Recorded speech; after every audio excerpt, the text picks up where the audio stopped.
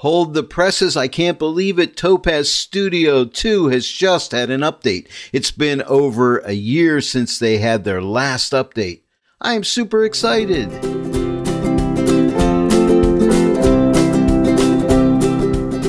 Hello, everyone, and welcome to the Joy of Editing with Dave Kelly. I can't believe it. Topaz Studio 2 has had an update. I thought they never would. It's not a huge update, but hey, it is an update. And to me, that tells me that Topaz uh, will continue working with Topaz Studio 2 to make it better and better. Hopefully, hopefully, a lot of people wondered, are Topaz going to do anything extra with Topaz Studio 2? So we can all be optimistic. Let me know in the comments section below if you hope Topaz do something more to Topaz Studio 2 in future updates. I'd really like to hear from you, and maybe that'll send a message out to Topaz. Anyway, this is version 2.3.2. The last version was 2.3.1. Now we can go to the changelog if we come up here to help and come down to changelog. That'll launch the internet for us here and go to that web page and tell us what the update is all about. This is uh, 2.3.2, March 1st. Okay. And the last uh, update was on February 26th of 2020. New features updated all libraries, ensure Mac OS Big Sur support. So that's cool. I was waiting to update to Big Sur. Uh, better raw image support update UI in various places to match other programs, updated the installer to take newer admin administration fixes, updated the in-app updater to use newer system, replaced product tour with a new one, with a new one-time pop-up displaying a link to the user guide and fixes. This is big for me. Fix the bug where hiding and showing certain filters would change the effect. Not that one so much, but the second one. Fixed histogram not updating when filters are applied. The histogram one was the one that really bugged me. You couldn't use the histogram. Before we start looking at Topaz Studio 2, I wanted to show you this Topaz Labs pricing. These are for uh, license updates and things like that. And if you'll notice, the uh, Topaz uh, Studio 2 is a free update for everyone. That's not an update you have to pay for. So I just wanted to point that out. It's uh, Adjust AI, JPEG to RAW AI, and Topaz Studio 2 are all free updates, at least the, at least at this point. So if you have Topaz Studio 2, go ahead and grab the new update.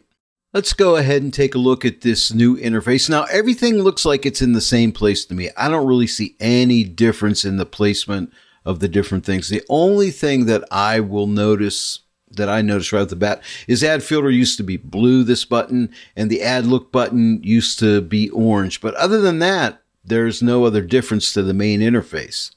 One of the things I've noticed with this new update though is some of the filters seem to be working a little quicker to me, a little snappier. If you find that experience, let me know in the comment section below and let me know any changes you feel that have really been added to this update. Like I said, it's not a big update, but one thing that I really enjoy is the fact they fixed the histogram. This histogram didn't work before. You could click it and turn it on, but it would never update. So let me just show you now. It is working. Let's come up here to add filter. Let's just add a basic adjustment filter here. And let me pull the exposure back and watch that histogram. See, it's changing now. It's updating that's a big help, you know, because that wasn't working before, and that was really a drag for me. Hey, by the way, um, this is not uh, a full edit tutorial here. I'm not even editing this image. We're just going over the changes to this new update here on Topaz Studio 2. But I will link this uh, image in the description below in case you want to download it and play around with it. Here's a nice little uh, change to the interface, and that is with the adjustments here. Now, normally you could take these adjustments and slide them left and right or whatever, but now you can use your scroll wheel. Now, I'm on a Mac. Let me know how this works on a, a PC, but you can use your scroll, scroll wheel now to, uh, you know, adjust these, which is kind of a nice little added feature here.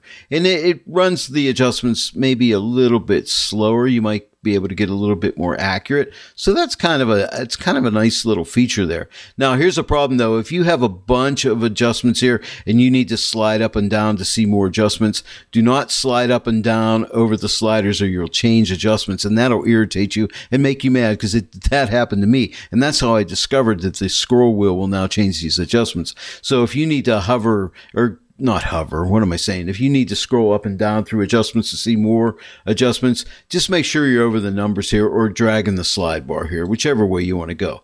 But do not uh, scroll over these sliders or you'll be a little bit upset unless you want to actually change that slider. Now, all you need to do is hover over the actual slider itself. See, if I go over the white level here, anywhere here, and scroll up and down, if I scroll down, it moves it to the left. If I scroll up, it moves it to the right.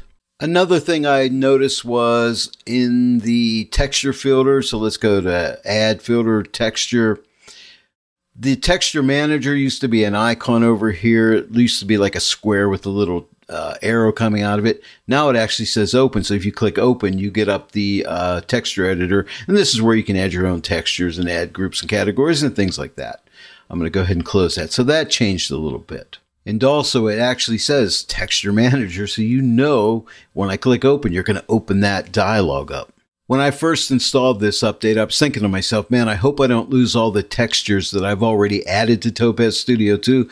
So when I opened up the texture filter, the first thing I did was I came to category and clicked this drop down menu and noticed that all my textures that I, that I have installed are still in here, which is really cool. So let me go ahead and click on one of those.